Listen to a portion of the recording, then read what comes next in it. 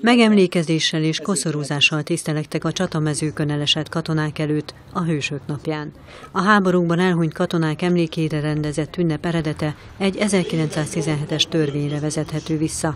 Hét évvel később jelölték ki az ünnep időpontjának május utolsó vasárnapját. Ez az ünnep 1925 és 44 között nemzeti ünnep volt.